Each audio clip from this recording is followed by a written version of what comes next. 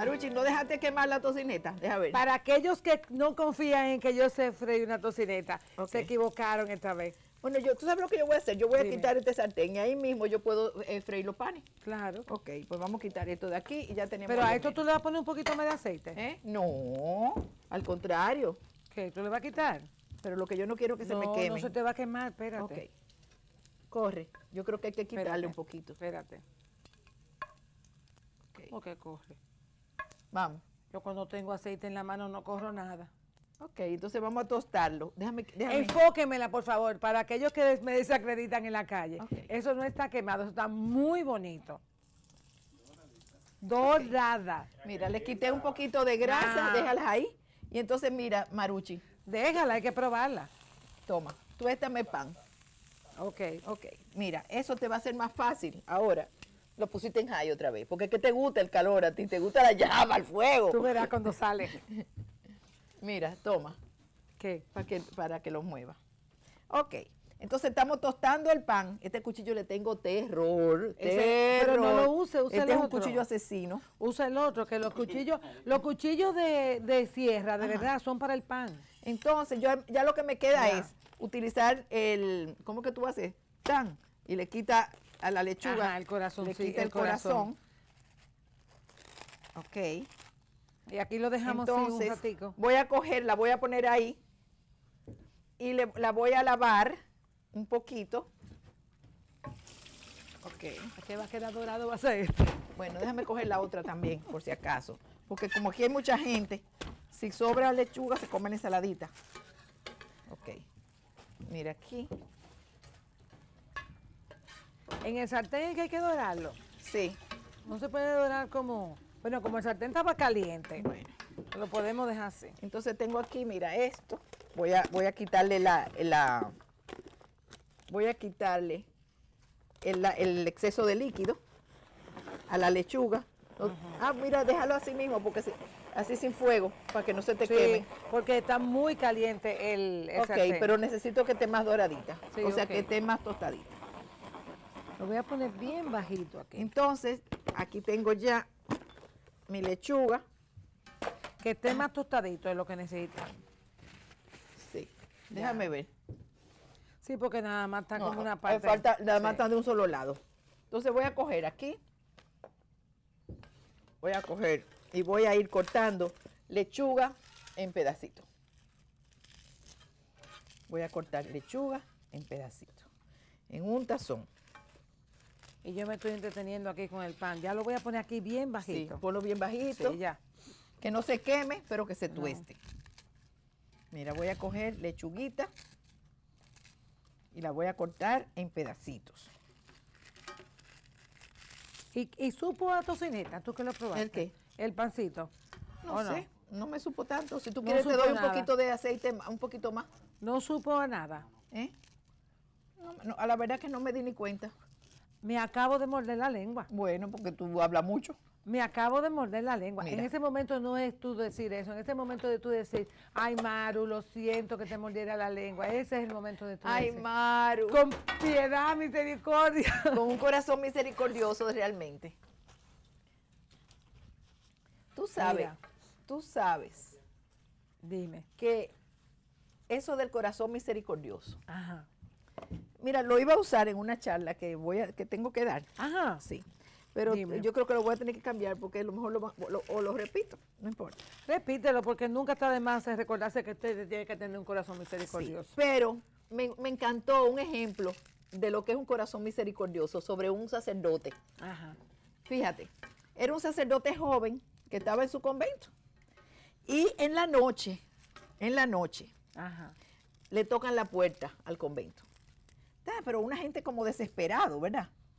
Y le- eh, por fin, finalmente le abren, aunque ya era muy tarde. Y era una señora muy pobre, que un, un- no, un joven, un joven, que, que le estaba tocando la puerta porque su mamá, que vivía en una casa muy pobrecita, o sea, estaba muy enferma, se estaba muriendo. Y quería que fuera el sacerdote a darle la- lo- los auxilios, o sea, que le llevara la- la- los auxilios, Eh, las- De los, an- de los, los- a- lo- la extrema la unción. extrema unción.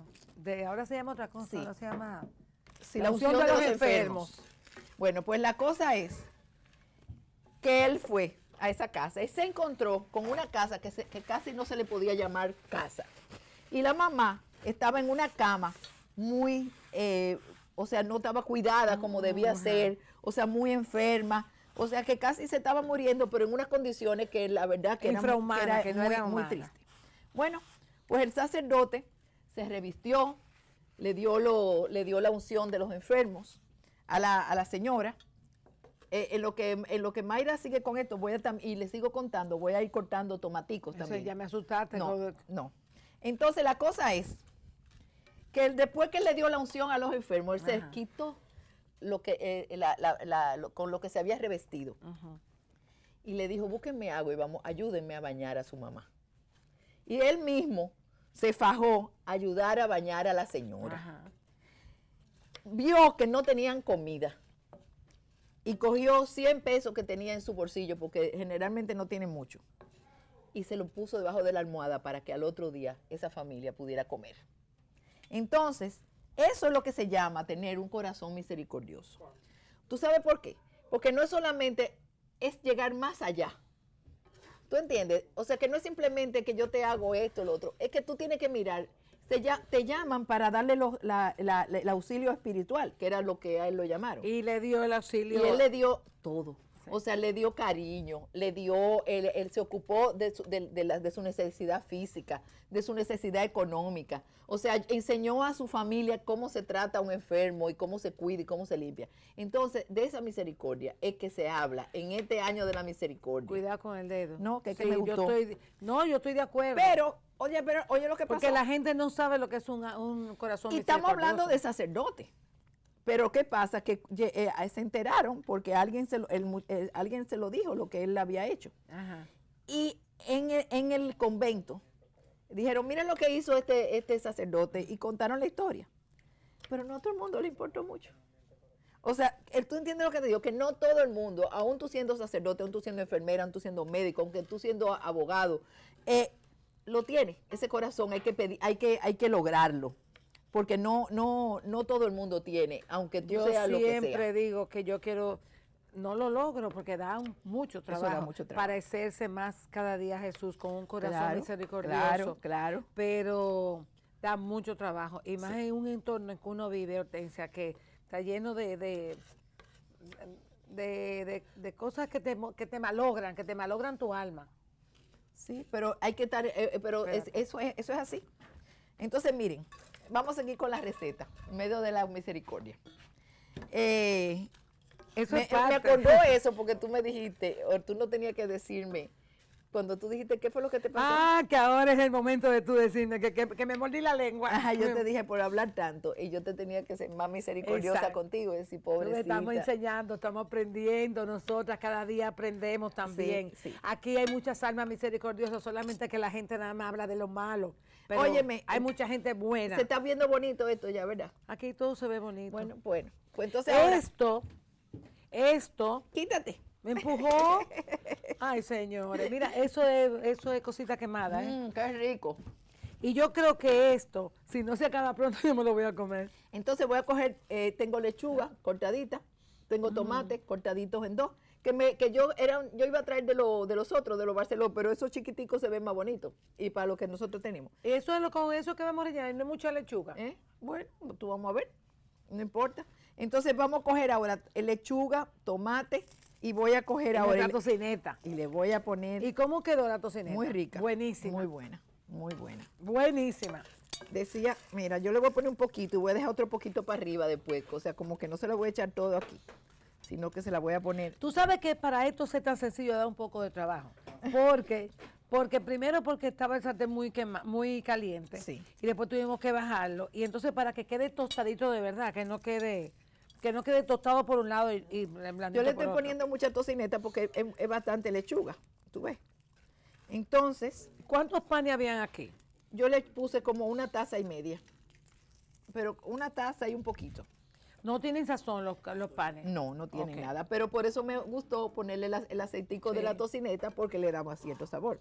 Voy a dejar esos dos ahí, que si la dejan ahí, Déjame ver a ver si está buena. está buenísima. Qué Entonces, bien te quedaron, Hortensia. te quedaron a ti, mi amor. Te quedaron a ti, te quedaron a ti. Tú lo hiciste muy bien, muy bien. Dayan, no se me quemaron, quedaron buenas. Ok. Entonces, Aquí nada se quema, aquí se dora entonces mucho. dame un poco de los pancitos, Maruchi. Yo creo que ya están, deja ver. Están buenos. Bueno, ok. Vamos entonces- en el próximo segmento.